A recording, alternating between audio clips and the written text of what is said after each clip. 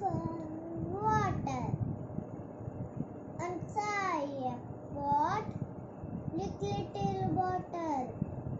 He flew down to drink but could not touch the water. He got an idea. He took the pebbles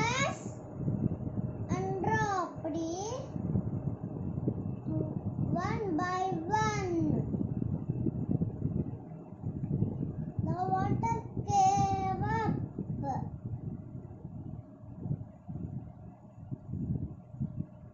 Crow drank the water